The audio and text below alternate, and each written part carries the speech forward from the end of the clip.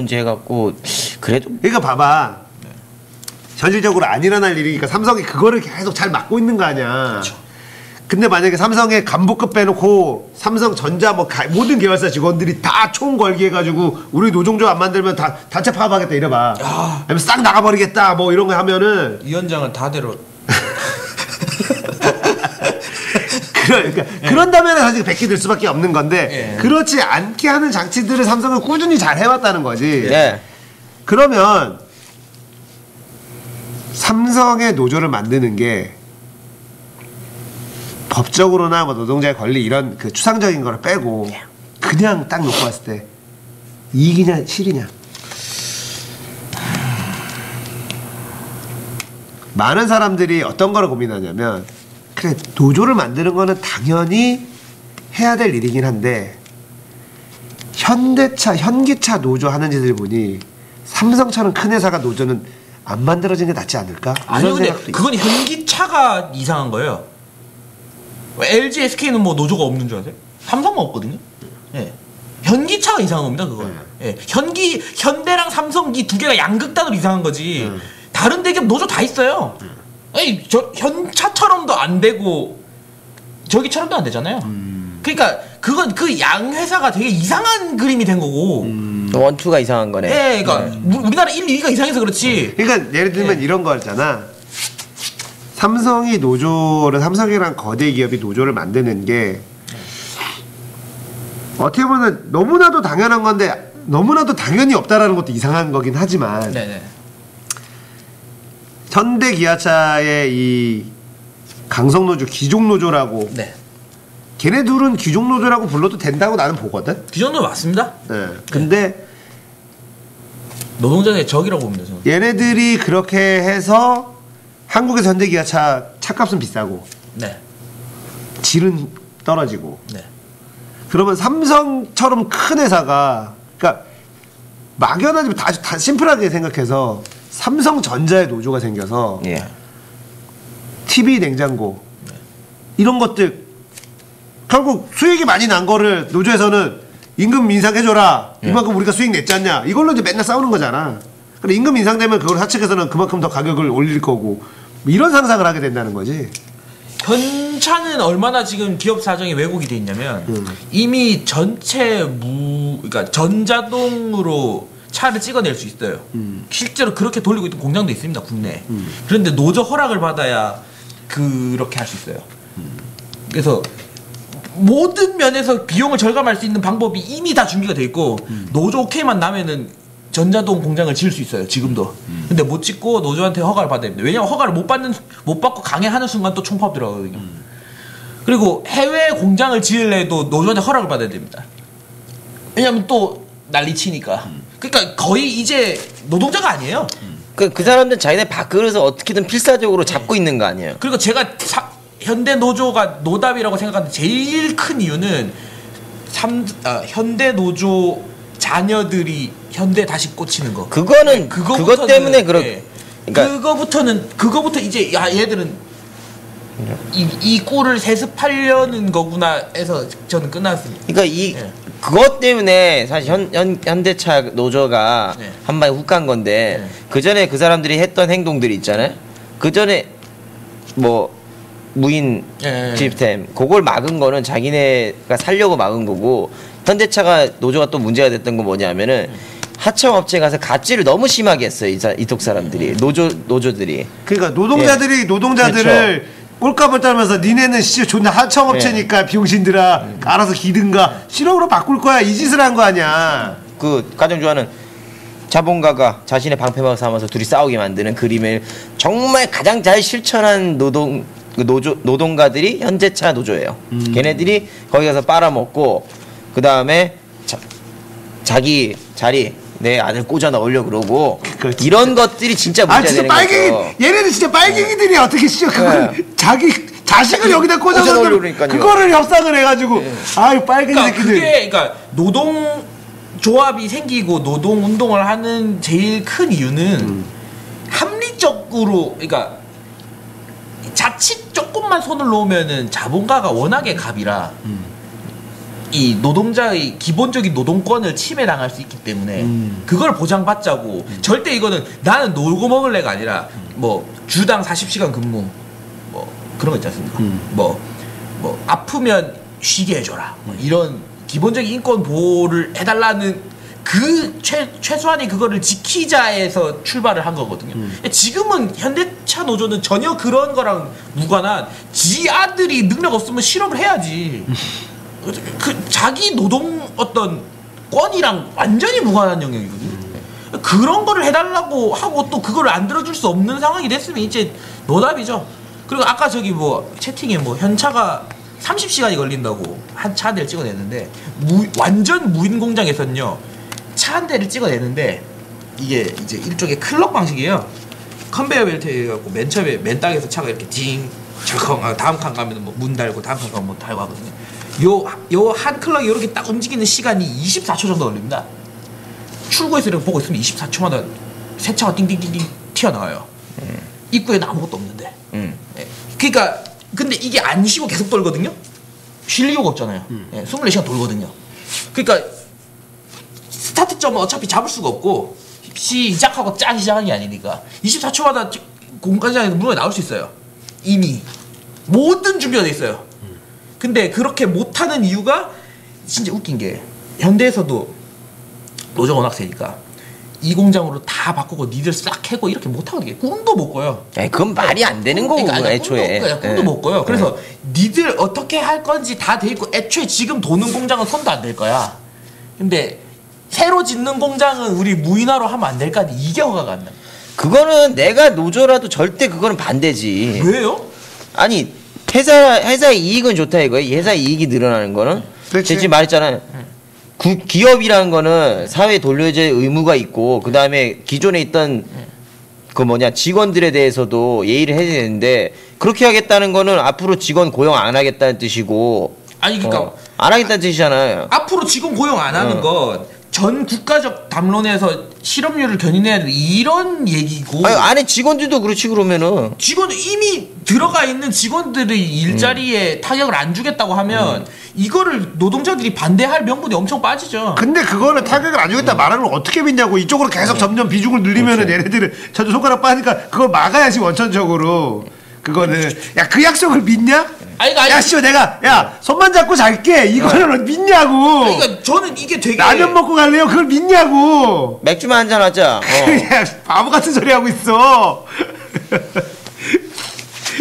그러니까 반대해야지 당연히 그건 저는 하여튼 노동운동의 영역은 아니라고 봐요. 니들이 그걸 짓든 말든 아니 나 그게 노동운동이지 우리 각그릇 그러니까 되는 결국 거지. 뭐냐면 노동운동의 기본은 자본가들에 의해서 내 밥줄 날라가지 않게 하는 거랑 그게 제일 첫 번째일 거고 그 다음은 내가 합리적인 대우를 받는 거 이 두 가지란 말이야 그 두 가지를 위해서 노동조합은 필요한 거고 이제 세 번째로 들어가면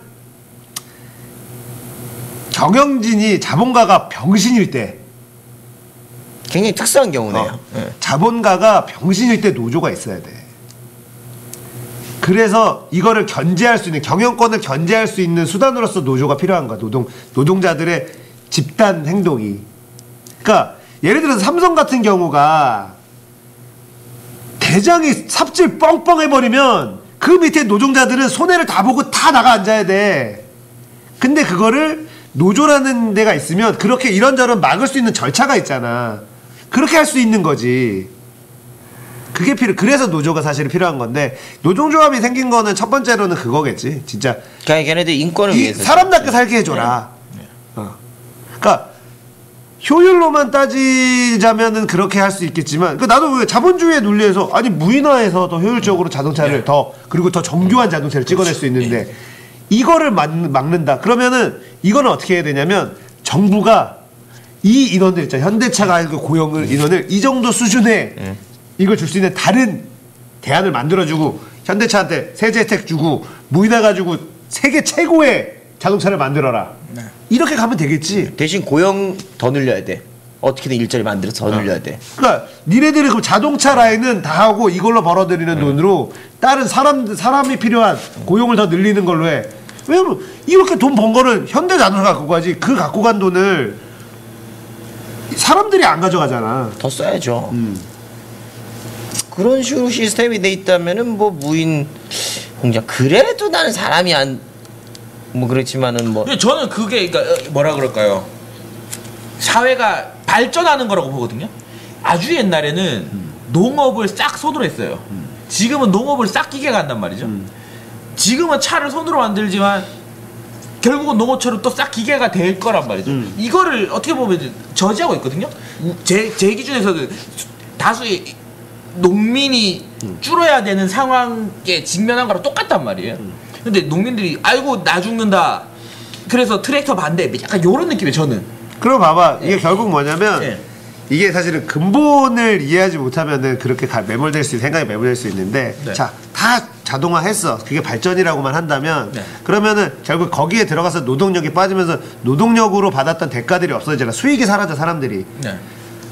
자동화 다 했는데 그걸 살 사람들이 싸그리 없어지면 이거 만들어진 것도 다 날아가는 거야. 네. 결국 이게 균형을 맞춰서 가야 되는 건데 그러면 결국 인건비라는 게 내가 쓴 노동으로 통해서 인건비가 있어야지 그렇게 만들어진 재화를 내가 소비를 해줄 거 아니야. 소비할 사람들이 없고 소비할 돈이 없으면 네. 만들어진 재화는 아무 의미 없는 거잖아. 예, 그러니까 저는 옛날에는 말 그대로 땅만 파먹고 살아도 살 수 있었어요. 지금은 그렇게 하면 안 되잖아요. 그 이유가 뭐냐면 이 땅을 파는 거 자체 이게 생산하는 부가가치로는 현재 시대를 못 버티니까 도시로 나와서 다른 일을 하는 거 아닙니까? 음. 그래서 저는 이제 사실요 자동화 로봇이랑 일자리를 다투고 있다는 자체가요 하고 있는 일이 거의 로봇 특급이거든. 그러면 그 일을 쥐고 내 밖으로 뺏긴다고 로봇을 도입하지 말라고 하는 그 자체가 옛날 그 홈이든 농민과 다른 게 없다고 생각해. 그러니까 그게 문 자기 부가가치를 더 늘려서 다른 이, 이- 저기를 어떻게 보면 부적응이잖아요. 근데 예. 부정응을 한 사람들을 다 그냥 나가 아, 이거 죽어라 이렇게 하면 안 된다는 나가. 죽이라가 아니라 더 이상은 안 늘리겠다거든요. 근데 더 이상 안 늘리겠다는 결국 그 사람들을 죽이겠다는 거랑 똑같은 거잖아. 모르겠잖아. 봐. 자, 이거는 네가 얘기한 거야. 이 공장은 그대로 둘게. 예. 자, 자동화를 할 거야. 예. 자, 여기서 추가 생산된 거를 누가 사? 살 소비 생산이 소비 그 시장이 있어야 될 거 아니야. 예. 이 소비 시장이 없 만약 그 소비자 없다 그러면 자동화가 더 이유이 되니까 얘네들 줄여 나가겠지. 그러니까 저는 그 단계를 안 한다는 보장을 해주. 그럼 뭔 수로 보장해 주냐고. 그거가 안 되잖아. 그러니까 이렇게 해서 추가 생산을 하겠다는 거 아니야. 추가 생산을 했어. 예. 근데 이거가 안 팔려. 차가 막 재고가 막 쌓여. 아니 이거 이게 추가 생산을 해야 되는 상황은 던져져 있고요. 응. 이거를 예를 그러니까 들면 만약에 시장이 예. 변할 수 있잖아. 예, 예. 변화가 되면 예. 결국 뭐 미국 뭐 금융위기가 왔어. 뭐 전 세계 뭐 대공황이 왔어. 네. 차를 만들어도 아무도 안 사. 네. 그러면 어떻게 했어? 그 회사에서는 이걸 줄이는 게 낫다고. 뭐, 예. 그럼 이걸 줄이겠지. 그럼 얘를 우리 우리 줄이지 말고 이걸 줄여라. 그럼 좋아 이거 생산 이제 줄일게. 니네들도 줄여. 그래. 이렇게 하겠지. 회사는 어떻게 버텨야 돼. 여기는 비용이 가장 덜 들어가니까 여기 대 정리해고 대량 정리해고 할 거야. 우리 같이 뭐 고통을 분담해야지 살아남을 수 있어. 그럼 자동화 라인 절반만 돌릴게. 니네들도 절반 날릴게. 이런 식으로 가겠지. 결국 그렇게 가는 거는 막고 싶을 거 아니야. 그리고 나중에 다시 경기가 좋으면은 자동화 라인을 더 늘리고 늘리죠. 이렇게 갈 수밖에 네. 없다는 거지. 한 순간만 딱 놓고 보면은 네 말이 맞을 것 같지만 역사가 어떻게 흘러갈지 모르고 경제 상황이 어떻게 흘러갈지 모르니까 길게 보면은 결국 이 라인을 노동자들이 막는 거는 당연한 건데 자 적응하지 못한 건 네가 얘기하는 짱생 논리는 뭐냐면 로버트가 하는 일을 왜 인간이 하느냐지. 인간은 인간만이 할 수 있는 일을 해라. 예. 그거 뭐 가능하면 모, 든 인간이 다 그럴 수가 근데 그거. 너무 가혹한 거야. 네. 그러니까 네가 만약에 네가 고대 나왔다고 어 어디 지방대 있는 애한테 너는 그냥 못하면 나가 죽어도 돼 이렇게 얘기하는 건 똑같은 거야. 넌 적응을 못했으니까. 너 수능 이거밖에 그러니까- 못 받았으면은 씨발 나가 죽어도 돼 이렇게 얘기하는 건 똑같은 거야. 그런 애들은 그런 사람들 나름대로의 삶을 영위할 권리가 있는 거지. 그거 봐봐. 지방에 일명 우리가 얘기하는 지잡대 나온 사람들이 예. 서울대 나온 애들하고 똑같이 살고 싶지 않아. 예. 왜냐면 나는 걔네들보다 공부도 못하고 머리도 나쁘고 노력도 안 했어. 그러면 그 대신에 나는 내 수준에 맞는 좀 약간 변두리에 있는 한 20평짜리 빌라 이런 데서는 살 수 있게 해줘 결혼해서 자식 키우면서 그냥 쪼들리게는 그렇게라도 살 수 있을 때 그거조차도 힘든 상황은 벗어나야 되는 거고 서울대 나오는 애들은 강남에서 살면 되는 거고 그렇죠. 근데 그런 지방대 나오고 바른데 맨날 꼴찌하고 사고 치는 애들이 네. 강남에서 못 산다고 지랄하는 거 아니거든 그런 건 아니죠. 그러니까 나는 외곽에서 이런 작은 데서라도 좀 살고 싶은데 그거조차도 지금 힘든 상황이니까 그런 건데 네 논리대로라면 그런 사람들 그조차도 안 되는 거예요. 왜냐면 적응을 못했으니까. 그러니까 지금 이런 그 노조나 이런 것들은 사실 그런 논리로부터 출발해야 되는 거거든. 소외받고 능력이 없는 사람들을 어떻게 그나마 최소한 인간다운 삶을 살게 해줄 거냐. 이거는 보장이 돼야 된다라는 거지. 네. 그러니까 이 사람들이 나도 씨발 타워팰리스 살게 안 해도 이렇게 땡깡 부리는 게 아니라고. 그런 사람들이.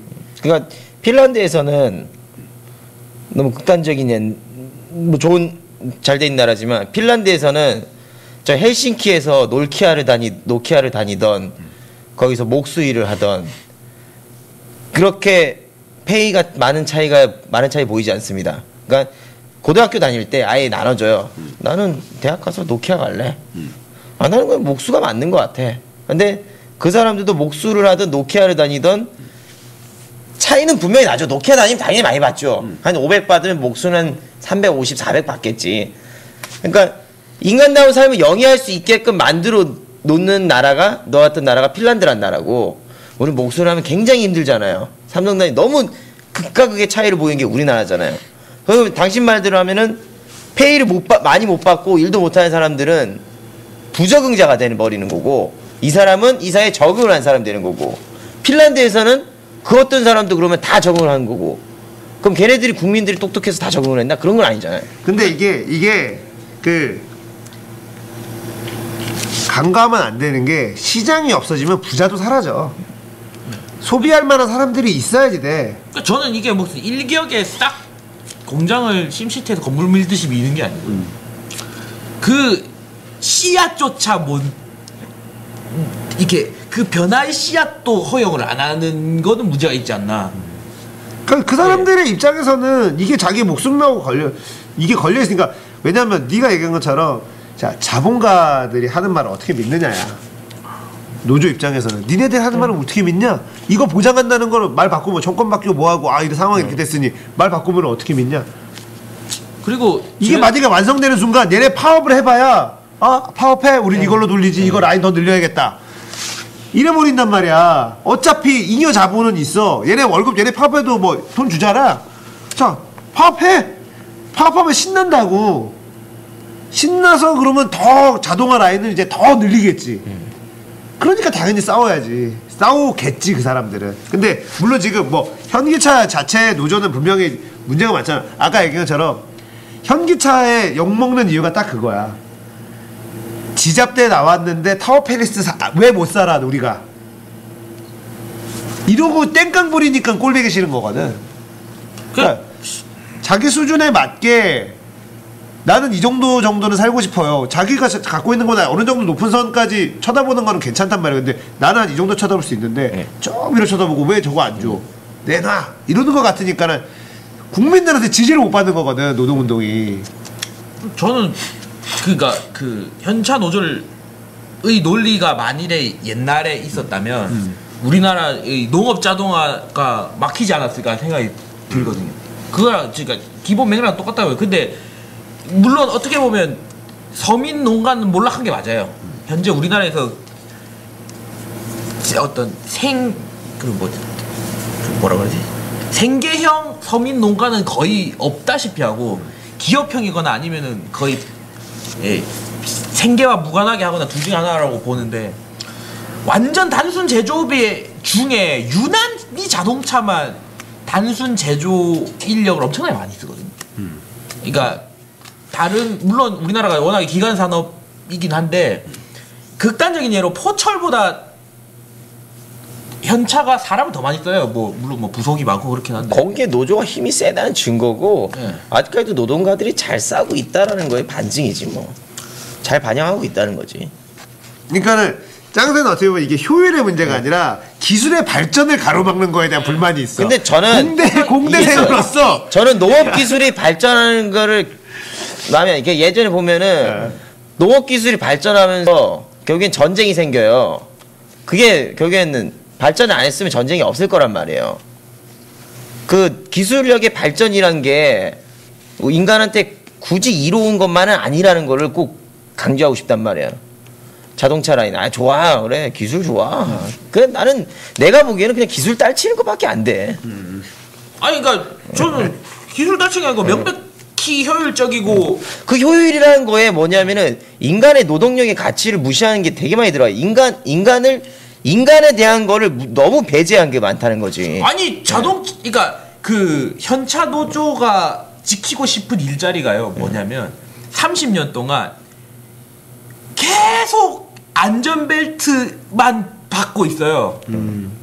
그러니까 제가 로봇이 할 수 있다는 일이라는 게 저희 회사에서 하는 일도 되게 하- 일하는 사람 입장에서는 무의미하다고 느낄 수 있을 정도의 단순 수작업이 엄청 많잖아요. 세상 일이라는 게 그렇잖아요.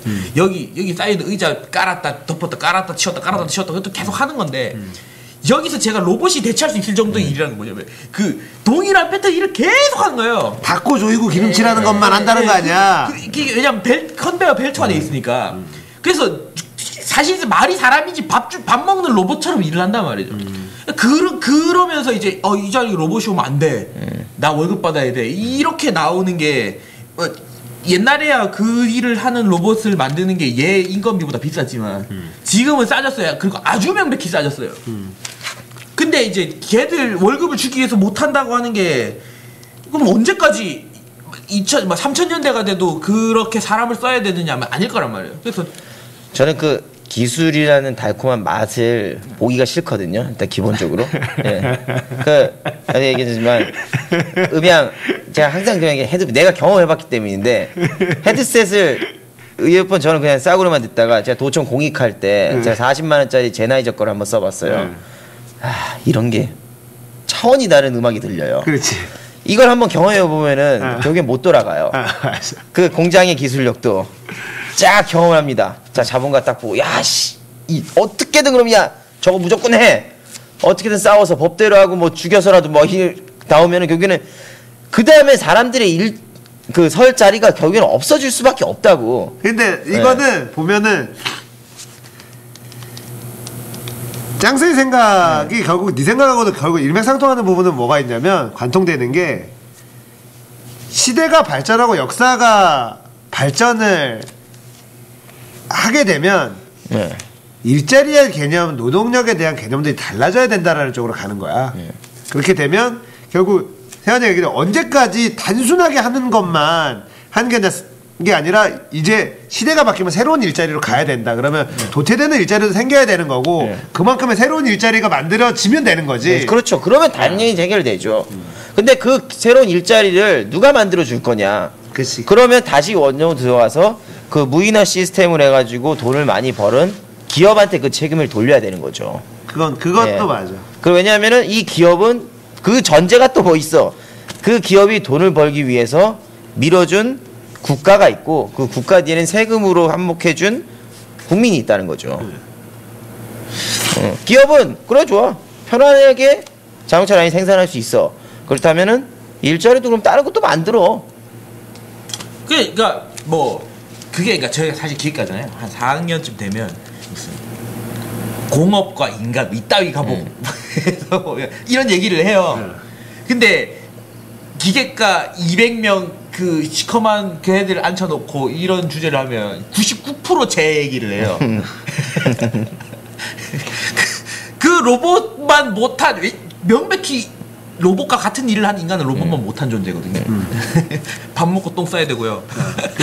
불량률도 엄청납니다. 예, 그래서 피곤하면 느껴야 되니까. 예, 예, 그 휴가도 줘야 되고 음. 로봇만 못한 존재고 그래서 그 왜 막 그렇게 돼요 분위기가 그래서 그러면 이제 새로운 일자리 이런 얘기가 나오면 꼭 하는 말이 해외 유수의 애들이 자동화된 이게 뭐, 뭐냐면 자동화된 자동차 라인이 최고급 라인이 아니에요 왜냐하면 에쿠스를 그렇게 우아 찍어내서 팔 수가 없어요. 그러니까 시티백 같은 거 찍는단 말이죠. 우리나라 전 세계에서 가장 많은 그 바퀴 달린 물건이 시티백이잖아요. 아니면 막 마티즈, 티코 이런 거를 막 찍어낸단 말이죠. 해외에서도 보면 벤틀리 같은 차종은 대놓고 광고하는데 전, 전 공정을 장인들이 수작업을 합니다.